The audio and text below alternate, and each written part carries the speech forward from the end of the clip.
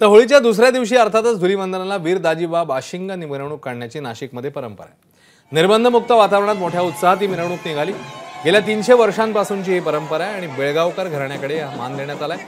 विविध देवांची वेशभूषा ते परिधान करतात. डोक्याला भरजरी वस्त्र कानात सोन्याच्या पगड्या हातात सोन्याचं कडं पायात जोडा असा वेश धारण करून हलगीच्या तालावर वाजत गाजत या वीर दाजीबाची मिरवणूक निघते. घरासमोर रांगोळी काढत तसंच ठिकठिकाणी औक्षण करत या दाजीबांचं स्वागत केलं जातं.